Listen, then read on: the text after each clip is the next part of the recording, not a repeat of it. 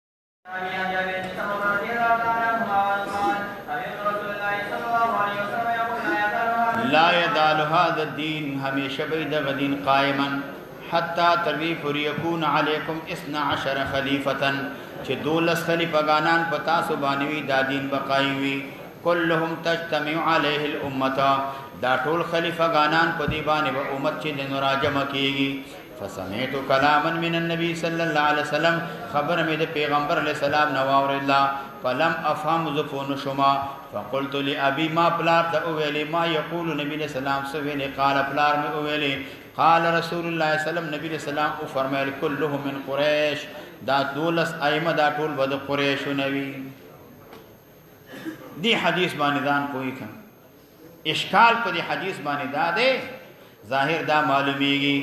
چې دولس خلیفہ غانان برادي ورسته د پیغمبر علی سلام نه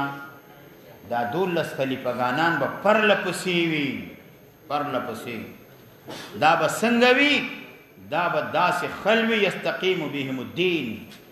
دین به مستقیم و برابر وی عزت به اسلام ته ورکړي احکام به جاری کیږي د شریعت شریعت احکام دا به جاری کیږي لیکن کته وې دا دوله خلیفګانان به داسې دین په قائم پر لپسې به سره د دینا چې دلته د آباد خلیفګانان ایمه خو په دې کې د جور او د ظلم او د فساد لکه د بنی مروان چې کوم خلفا رااله هغه خو زیاتې کوي دا غي د کم تکلار او چا په خن دی ویلي د هغه سیرت ته چا خن نه دی ویلی او همدارنګه خلافت نبی له سلام بعد 30 سنتن ثم يسير ملکا غدودا هغه نه باچ دینو بیا به ملکا غدودا بچهانی بیا به چکونه لګي خو دومره د چې دې ته خلیفہ ویل کېږي مجازن یا مراد نه 12 خلیفتن نه ده 12 نفسن وروسته د نبی له سلام نه به سلطنت امارت دا قائمي په صحیح طریقې باندې امر د سلطنت امارت دا مستقیم برابرۍ په دې کې به نزاع نه وي اخلاف او اختلاف په امورات د مسلمانانو کې نه وي اگر که بعض ظالمان دي بعض ظالمان جابران دي لکه هغه دایره د عدالت نه وتلی او دا خلفاو کې چې اختلال لاغه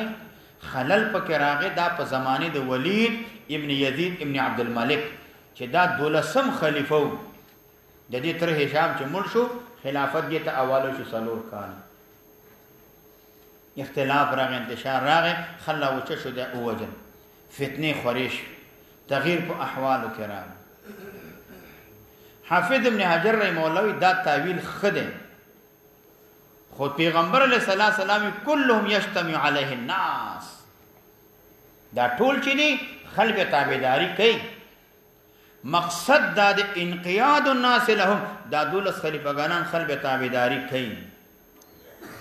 حدیث کې د دې مت حسنا نه دراغلي چې مت حسنا په دین باندې کوي بای سړی خلک تابعداري کوي خو دیندار باندې وي نو دا اطلاق د خلافت او دا په معنا مجازي باندې او دا حدیث کې چې راځي نبی رسول الله فرمایي چې الخلافت بعد 30 سنتن مراد نه خلافت نبوت مراد ده چې دا خلافت حقیقتا ده یو خلافت مجازن دی هغه به وروسته دولس خلیفه ګانان وي یو خلافت حقیقتا د زمانه وروسته به دیش کال وي یا منګه دا ویو چې د حدیث کې اشاره ده مضمون د خیر القرون ته اشاره ده خیر القرون قرنی ثم الذين لونهم ثم الذين لونهم مراد دلته هغه خلق نه مراد دی هغه خلق عمره چې هغه مستحق د دې دي چې خل د دې کې نزاع ونه کې خلافت علی الحقیقت نه مراد نه دی او یا سوګي مراد نه د دې شمار د مخکې د قیام د قیامت نه مخکې مخکې قیامت چې را دي قیامت نه مخکې ودول خلیفګانان وي دی باندې به د خلکو اجتماع وي يعز الاسلام ويستقيم به الدين او سوګي مراد ته نه مهدي عليه السلام من بعد عمرات نه مراد بعد المهدي چې د دې عدد به دې ترسي او بعد خلکو په دې باندې استدلال کړي دي چې دلته مراد ته نه خلافت د علي رضی الله عنه او من بعد دې اولادت نه مراد ده دغه عدد دا تعین د دې نشته دا خبره غلطه ده دغه دې کې روایت مختلف راغلي دي چې دا څه خلبه پیدا شي چې هغه به عزت ورکي چاته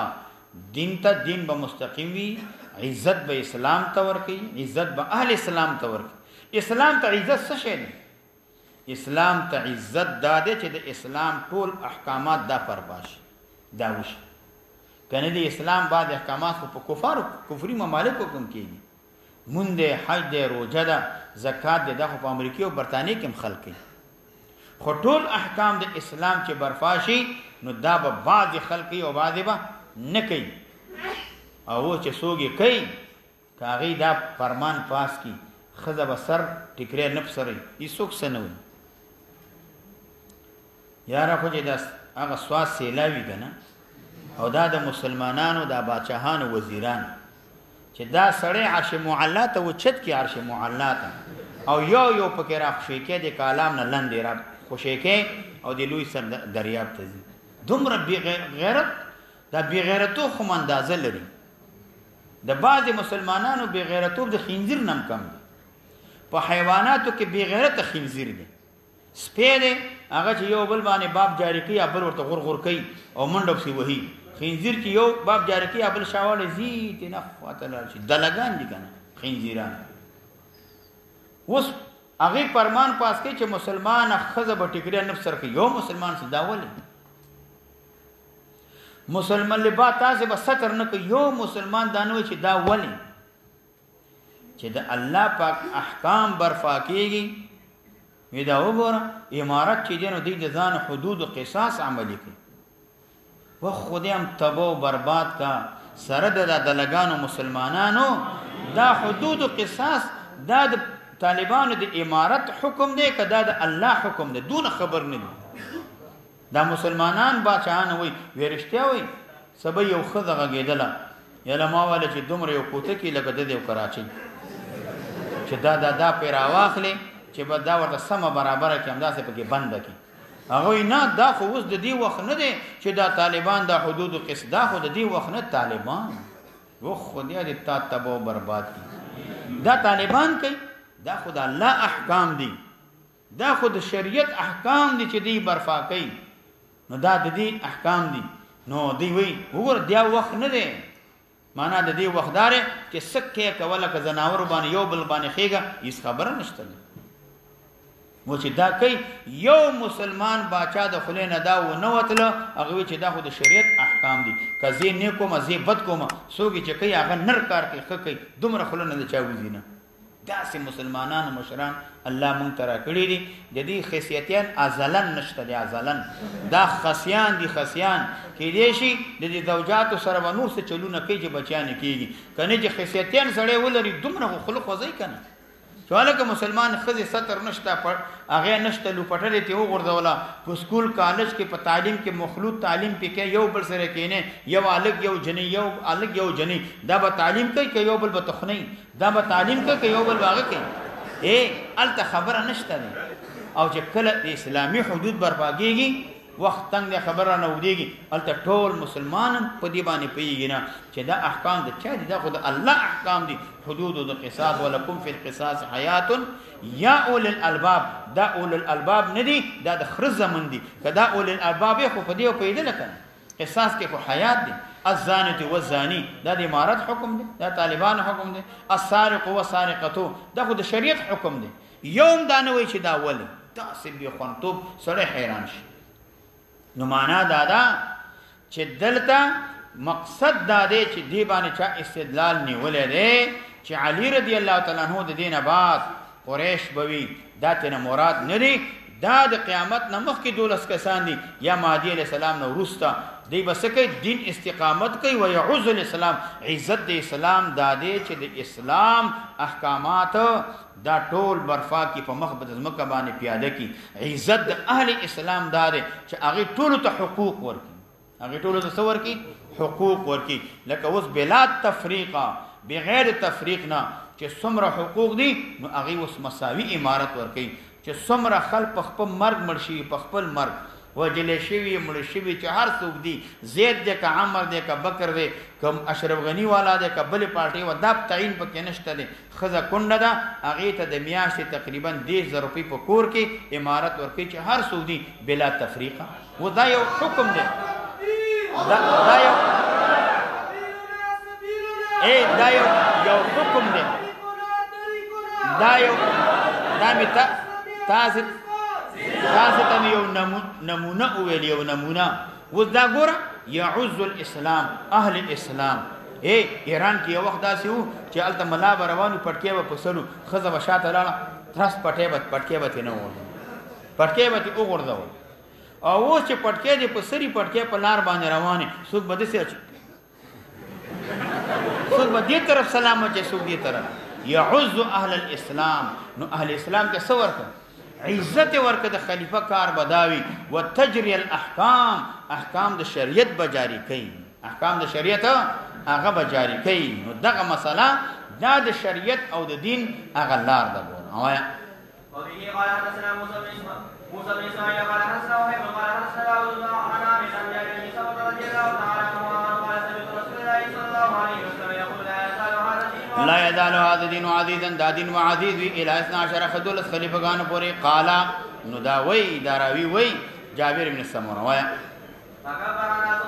وزجو د تکبیر او ویل الله اکبر ویل وزجو او دې سشو واق او چچو आवाजونه د دې وایا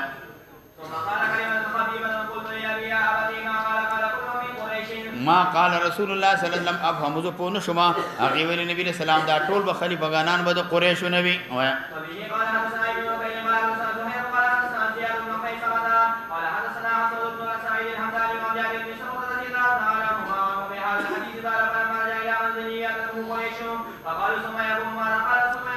الحرج حرج مخکې دی ویلو دا جنگ او قتل ته ویل کیږي ویا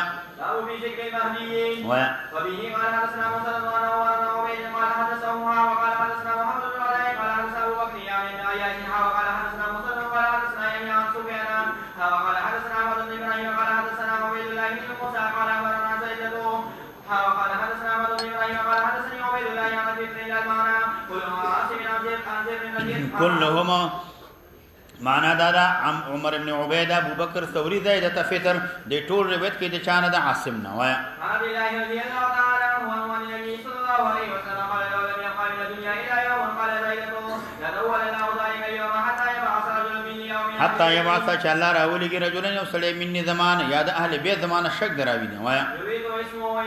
یواتی اسمو اسمی موافق بوی داغی نم زما د نم سره نم بیا محمد و اسمو ابی محمد ابن عبد الله بوي وایا زیات والے کړه د احمد پچا کې حاجی د پتر کې يم لو الارض مکه ډکی قسط او عدل د انصاف نه وایا وجورا لك جورا لك شوی دا نو حاصل دا د معنا د حدیث دا بعصد د مؤکد د یقیني د لا لا بد ان يكون ذلك دا بخامه خابي ګور را دی با وایا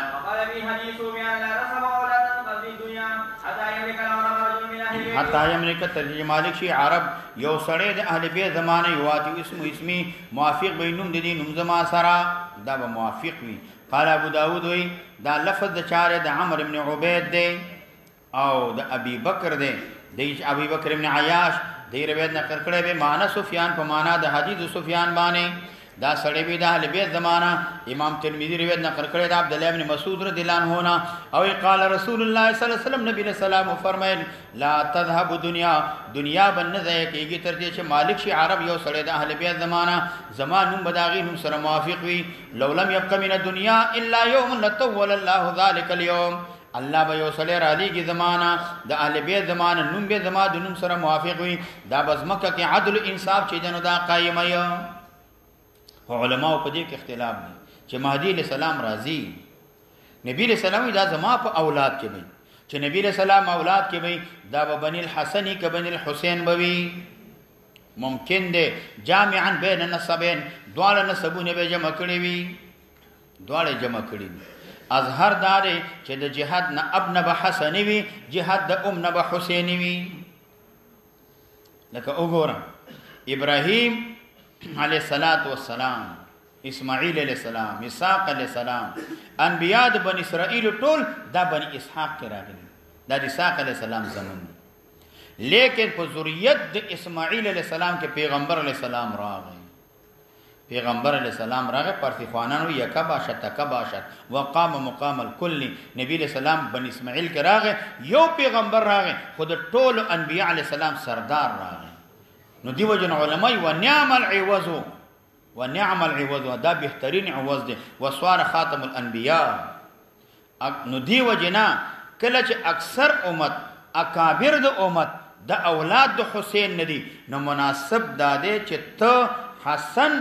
اولاد کې چې دنو مهدی علی السلام ریشي چې التا خاتم الانبیاء علی صلوات و سلام لکه هغه د ټولو پیغمبرانو چې دنو سردار دی مهدی علی صلوات و سلام با په اولاد د حسن کې ریشي حسین اولاد کې ډیر اولیاء کسان دي لکن دا به خاتم الاولیاء وي دا به د ټول اولیاء او سردار وي د ټول اسپیاء او نیکان او اولیاء او خلق قائم مقام به مهدی علیه الصلاۃ والسلام وایا قال حدثنا عثمان بن شيبة قال حدثنا الفضل بن ربيع قال حدثنا ابن علي القاسم بن ابي قتادة عن ابي ربيع عن علي بن ابي قتادة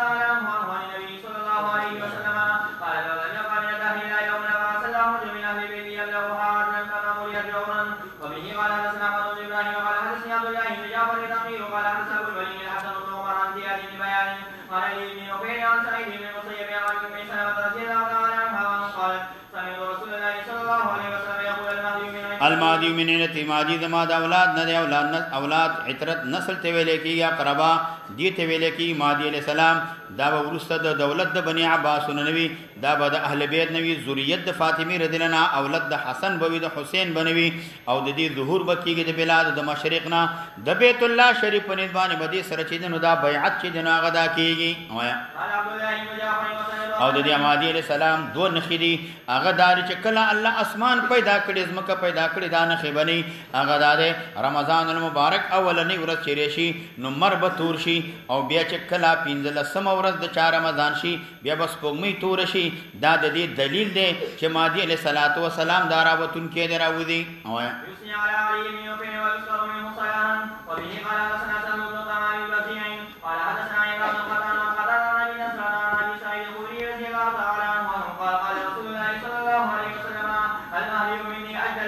مادی منی دا زما دا اولادینه د اجل جبهه دا به وچت تندی والاوی اجل جمع دا معنا واسع او کولاو تندی والا بوي تندې به داسې کولاوي اقنل انفي وچته پوري والا بوي په دې بنري داسې وچته وي وایا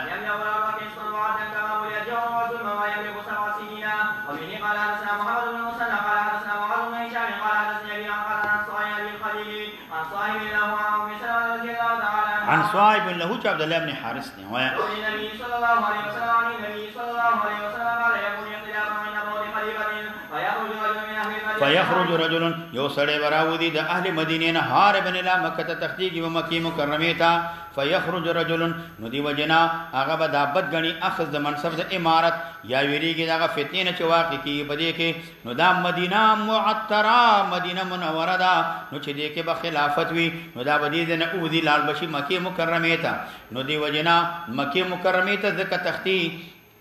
نو دا به وي چې دلته هما خلپی جنی دلته می خلګ پیجنی لال بشي مکه مکرمه ته او په مکه مکرمه کې ما خل نه پیجنی ځکه دا ویریږي چې ما به خلیفه وګرځي نو دا به مکه مکرمه ته وتختی دا ګمان کوي چې اهل مکه ما نه پیژني اهل مدینه ما پیژني زما حسب پیژني زما نسب پیژني زما تقوا پیژني ورع پیژني زما صلاح پیژني لا شمکه مکرمه ته څوک به نه پیژني فیخرجونه فیظهرون امره امر ورته ظاهر کی چې موږ تا سره بیعت کې وو وکړه دا بدګنو کې فیبایعونه بیعت وو کې په ما بین رکن او د مقام ابراهیم کې ويبعث الیه بعث من الشام بیا به اولګل شي د لپاره لخر د شام نه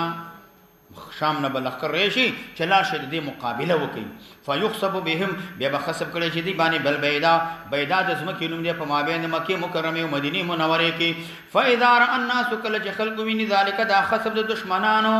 دا اوینی اتاه ابدال شام ریو شدی ته ابدال د شام ابدال نه مراد صاحب د نهایی وی اولیاء ته نه مراد دی د الله برګزیده شیدن کسان ته نه مراد دی دته ابدال د کوي کله ما مات منهم واحد بدل باخره یو ولی چې مرشد هغه په دی باندې بل چې دینو دار راځي ځکه ابدال ویل کېږي ځکه دنیا کې اولیاء دي یو زی هغه په دی باندې الله بل پیدا کړي داغه د وجنه د ازمکه قرار نیول دي وعصائب اهل العراق ریبشی عصائب جمع د عصابتون دا هغه جماعت د خلکو ته ویل کېږي د لسو نه نیولې څلوېښتو پورې لا واحد الها من لفظها نو دی وجه نه دی به جمع شي د حرب د پاره دا د جنگ د پاره دا په عراق کې وي یا مراد تنه هغه جماعت د زهاد او پرهیزګارانو مراد دی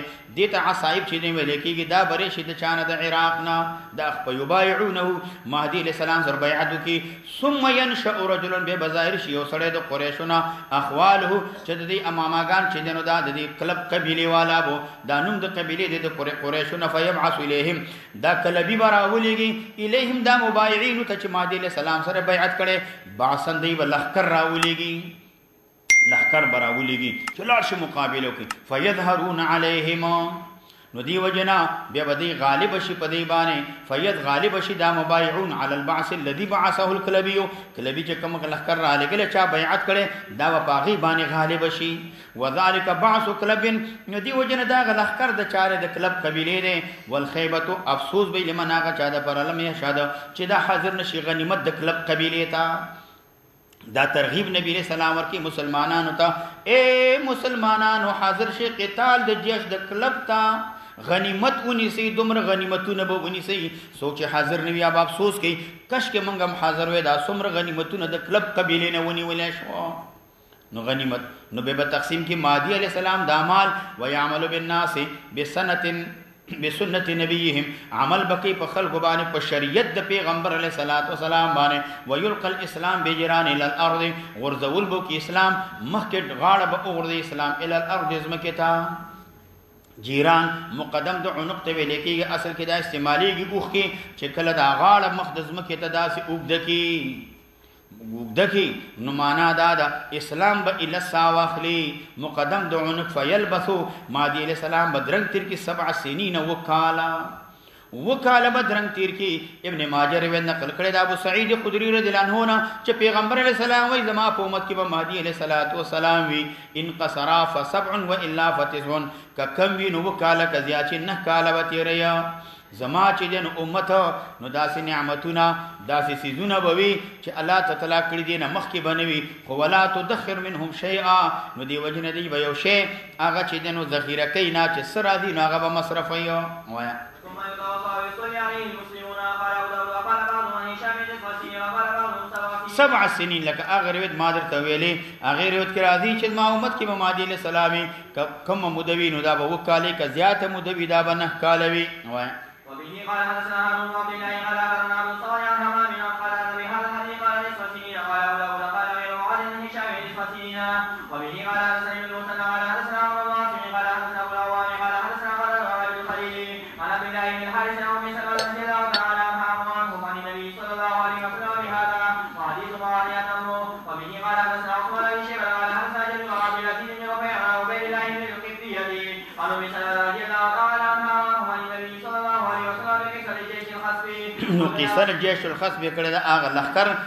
چې هغه کې زمکه کې بنه نه ودی وایا قلت یا رسول الله کیف بمن کان کارن مارن کیف بمن کان کارن څنګه یا غسو چې د لخر بد غنی دا پکې راو تیرې قال نبی له سلام ویلې یخسف بهم د زمکه به ټول باندې به جميعهم چې د زمکه ځان تراکاږي ولکن یبعث یوم القیامت علی نیته دی به پورته کیږي پر د قیامت کې په نیت باندې یعنی من کان نیته هغه سنتا چې نیت عدم قتال وی او دا په زور راوستل شوی په جبر باندې راوستل شوی فیبعث علی نیته دا په خپل نیت باندې راوستل کیږي فینجو دا به نجات پیدا کی او هغه سړی چې راوته دی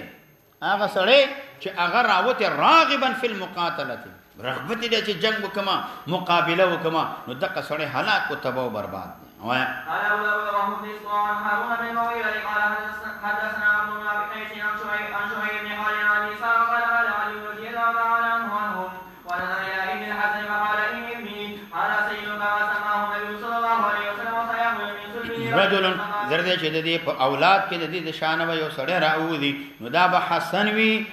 نو دی وجنا حسن رضی الله تعالی عنہ داغه په اولاد کې بوي یسمی باسم نبیکم صلی الله علیه وسلم دی باندې به نوم کې خودل شي نوم د پیغمبر علی السلام دغه به نوم وي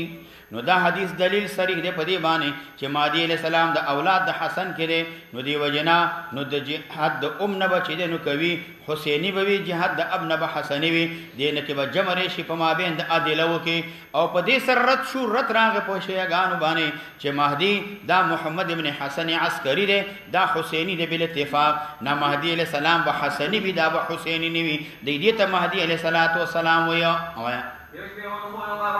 نو دی وجنه مشابه وي پچا کې په خلق په ظاهر صورت کې او دې سره به مشابه نه وي په چا کې په خلق کې وایي ثم ذكر في صدي الله الاربع عدلا وقال هارون قال حدثنا عمرو بن ابي قيس عن مضارب بن كريم عن الحسن عن هلال بن عون قال سمعت عليا كرم الله وجهه يقول قال النبي صلى الله عليه وسلم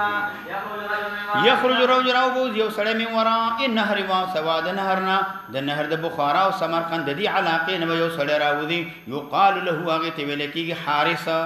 نوم د دې به حارس وي دا به څنګه حراس علی حراسنا دا صفت د دې د پاره دا به زراع وي دا به کروندګر وي کروندې به کوي علا مقدمته رجل په مقدمه د دې لخر باندې به یو سړی وي یو قال له منصور هغه ته ویل کېږي منصور دا منصور به د دې نوم وي منصور هغه بدلی نوم وی یوتی او یمکنو دا شک دراوی دی نو دی وجنا او دا با ثابتی قرار به ورکی او همدارنګ یا به تمکین ورکی یا به چې دنو زی ورکی تمکین ورکی یمکنو د تمکین نه دلک امکناهم نو معنا دا دا برابرۍ به خلق ته اسباب یهیئ لهم برابرۍ به چې دنو دی د پاره اسباب د مالونو د خزانو د اصله او ممکن دی چې امر د خلافت هغه قائم وي او دارنګه عسكر خلګ د دې سره چې د مدد کوي کومک هغه به ور سره کوي کومک به ور سره کوي نوم به د دې منصور وي منصور وي لآل محمدین دا لفظ د آل محمد چې دنو دا مقحم او زائد دی کما مکنت قریش لرسول الله صلی الله علیه وسلم لکه څنګه چې زی ور کړیو قریشو پیغمبر علیه صلوات و سلام تا مراد نه داده هغه چا چې امن ور کړیو دی تا داخل شیو په چا کې په تمکین د ابو طالب کې نو دی وجنا او اگر کا ایما هغه هغه ورنکی امن ورته ورنکی خو بیم هغه دار چې د دې په تمکین کې به وي نو د دې مراد دار چې چا امن ورکو او دی به داخلي په چا کې په تمکین کې لکه هغه وخت کې ابو طالب سه امن ورکو او د پیغمبر علی صلوات و سلام په تمکین کې دی داخل شو د ابو طالب په امن ورکولو کې نو وجب علی کل مؤمن واجب دی په هر مسلمان باندې نصره نصر د حارث چې د حارث مدد وکي یا نصره نصر د منصور یا نصره نصر د مهدی علیه صلوات و سلام هر مسلمان د دې مدد هغه بکي یو سړی برازي ماورا او نهر بخارا سمرقند باندې نوم به منصور وي نو دې د پاره د دې چې کم دی آن نوم هغه به هغه وي منصور به وي نو دی لکه قریشو چې نبی له صلوات و سلام ته دی ور کړی دی نو دغه سي دغه خلبه دې سړی ته چې نو امن ورکی دا خلب د دې په تمکین کې به داخل شي نو دې به خلبه دې ته امن ورکی زیب ورته ورکی نبی له سلامي هر سړی به دې مدد کوي چې هر څوک وي اللهم صل علی محمد دی یو جنازه ده نو هغه جنازې ته ورځم نو مفتی صاحب براغلی وي نو هغه به باقی خپل سبق وي وصلی الله تبارک وتعالى على خير